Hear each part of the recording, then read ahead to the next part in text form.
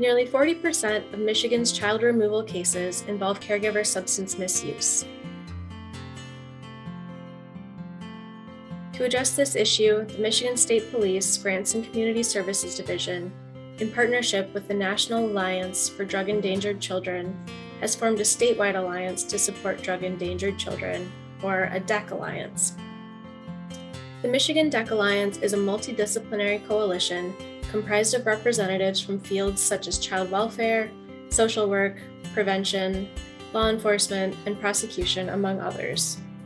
Service providers from these fields come together regularly to discuss protocols, guidelines, and other programming that will meet the needs of children across the state.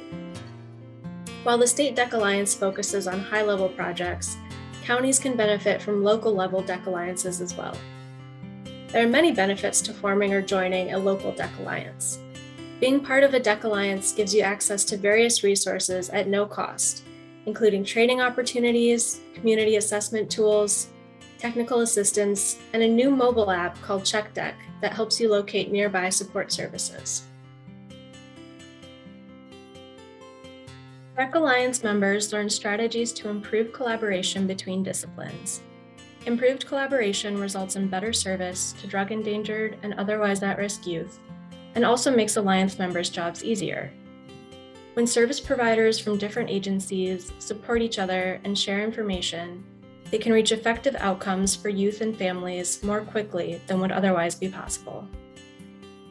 Multidisciplinary collaboration also helps communities coordinate and leverage existing local resources more effectively.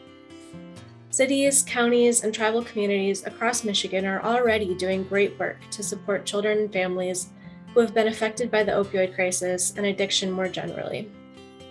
But too often, local programming is disjointed, with each distinct discipline working only within their own field. When this happens, it can be hard for families in need to find resources, making it more likely that at risk children will slip through the gaps in service.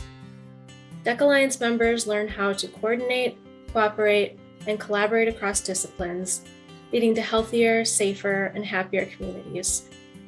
For more information on how to start a DEC Alliance in your community, please visit the Michigan DEC webpage.